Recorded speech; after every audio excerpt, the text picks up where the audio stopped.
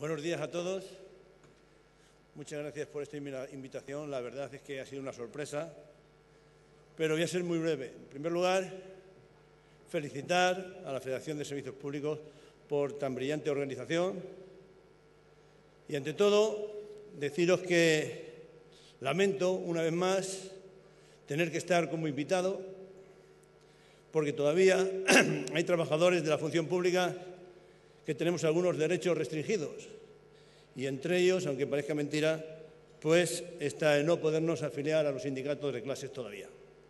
Y digo todavía porque parece ser que esta reivindicación ya histórica parece ser, vuelvo a repetir, que ya va a ser corregida por nuestros compañeros del Partido Socialista que ahora mismo están en el Gobierno. Es una grata noticia que me han dado y que, eh, bueno, el director general de la Policía y la Guardia Civil compañero Francisco Velázquez, que ha estado como invitado en este congreso, me acaba de confirmar.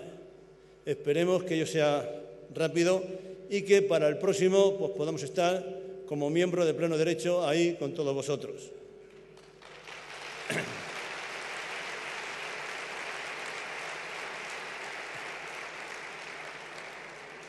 De todas maneras, no me gusta quejarme porque hay otros compañeros, en este caso los de la Unión de Guardias Civiles, que están mucho peor que nosotros y espero y deseo que tarden mucho menos en conseguir estar en plenitud de derechos como ahora estamos nosotros.